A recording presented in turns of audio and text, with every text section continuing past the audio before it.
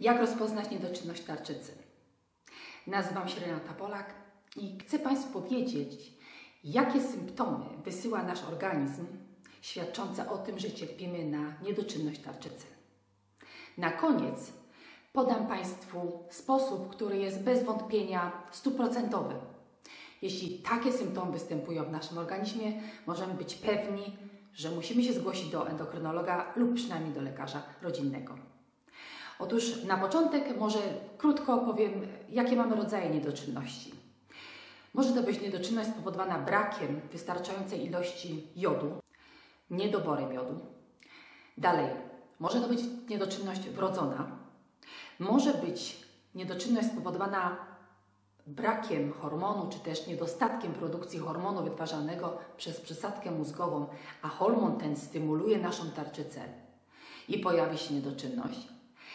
Mamy czyn niedoczynność, która jest wynikiem operacji usunięcia tarczycy i wreszcie Hashimoto, która jest chorobą autoimmunologiczną, gdzie nasz organizm zabija tarczycę, ponieważ uznaje ją za wroga.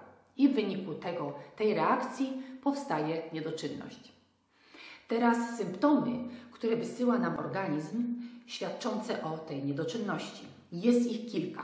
Mianowicie nadmierny przyrost wagi mimo, mimo mm, braku zmiany diety, mimo tego, że stosujemy tą samą dietę, przybieramy na wadze. Łamliwe, kruche włosy. Dalej. Senność, nadmierna senność. E, ogromne zmęczenie. Dalej, chrypka, e, z, niższy głos. Jeśli usłyszycie, że ktoś często robi coś takiego w trakcie rozmowy, czyści sobie gardło, niektórzy mówią, że musi coś oczyścić, ponieważ ma pełno śluzu, to taka osoba może być raczej pewna, że pojawiły się problemy z tarczycą i powinna iść do lekarza lub też do laboratorium, żeby zrobić badanie. Dalej mamy zaparcia. Mamy utratę słuchu. Spowolniona akcja serca. Uczucie ciągłego zimna. Brak ochoty na seks u dorosłych. A u kobiet obfite okresy. One są dużo obfitsze niż, niż normalnie. Jeśli chodzi o dzieci, to takie dzieci, mm, które mają niedoczynność tarczycy, one są apatyczne, nie mają ochoty na jedzenie, mają brak apetytu i często po porodzie bardzo szybko y, pojawia się u nich żółtaczka.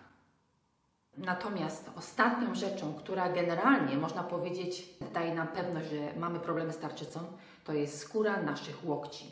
Jeśli tutaj mamy twardą skórę, suchą, która nam pęka i często musimy smarować się jakimiś tam nawilżaczami, jakimiś, jakimiś kremami natłuszczającymi i nawilżającymi, to powinniśmy sprawdzić, jak funkcjonuje nasza tarczyca.